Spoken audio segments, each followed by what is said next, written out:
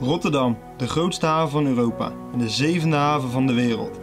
De haven wordt niet voor niets de toegangspoort van Europa genoemd.